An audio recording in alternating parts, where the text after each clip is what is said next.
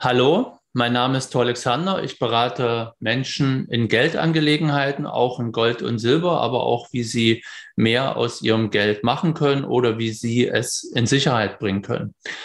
Im letzten Video habe ich ja angekündigt, ein bisschen mehr über Silber zu erzählen, unter anderem auch einige Geschichten zu erzählen.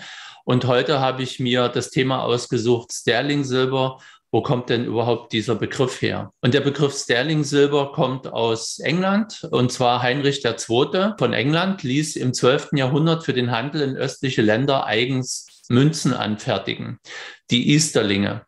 Und die waren zu 92,5 Prozent aus Silber und anderen Metallen. Also 925er Sterling-Silber hatte ich ja erwähnt im letzten Video. Aufgrund der häufigen Münzfälscherei und der Flunkerei wurden sie schnell in Europa und darüber hinaus beliebt. Die Easterlinge wurden zu einer Norm im Münzverkehr. Schnell kam es zur Abkürzung Sterling und dieses wurde dann als internationales Kennungsmerkmal für Silber. So, wenn dir das Video gefallen hat, freue ich mich über einen Daumen hoch, abonniere meinen Kanal und kontaktiere mich über Telegram, wenn du Fragen hast.